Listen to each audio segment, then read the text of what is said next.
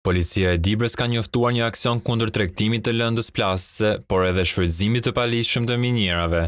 Drejtori i Policisë Dibër Dhimitraj Ziu deklaroi në një konferencë për shtyp se janë gjashtë persona të arrestuar të përfshirë në këto aktivitete. Në total policia ka sekuestruar një ton e njëqind e gjashtëdhjetë e dy kilogramë lëndë shpërthyese dhe tetëqind e pesëmbëdhjetë kapsolla elektrike që u kapën në disa subjekte me pronarë apo administratorë shtetasit e arrestuar.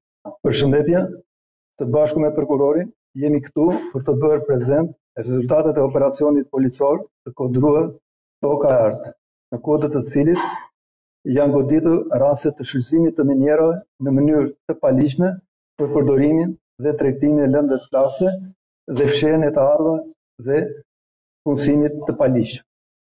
Gjithsej, janë sekuestruar në cilësinë e provës materiale, një ton e njëqind e gjashtëdhjetë e dy kilogramë lëndë plasëse dhe tre mijë e tetëqind e pesëmbëdhjetë kapsolla elektrike, si dhe janë vënë në pranga gjashtë shtetas.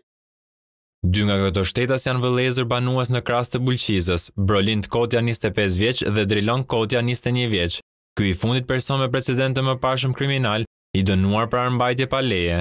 Ata akuzohen se shfrytëzonin në mënyrë të paligjshme një minierë në Batër të Krastës, ku policia gjithashtu sekuestroi njëzet kallëpe me lëndë plasëse dinamit me peshë tetë kilogramë dhe pesëmbëdhjetë kapsolla elektrike. Në pranga ra dhe shtetasi Hajdar Bala tridhjetë e tetë vjeç, punonjës në galerinë e përvetësuar nga dy vëllezërit.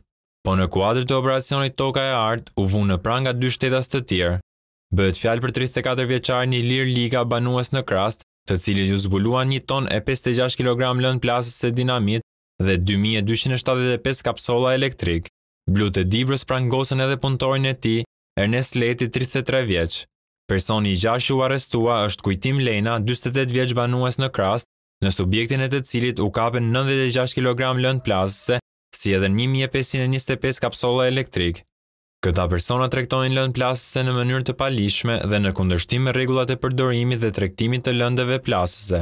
Për këtë arsye policia i kërkoi Ministrisë së Infrastrukturës heqjen e licencës dhënë ndaj këtyre subjekteve. Njëkohësisht policia po heton si janë pajisur ata me autorizim për këtë aktivitet, si edhe nëse kanë lidhje ngjarjet kriminale me tritol në qarkun e Dibrës me këto magazina.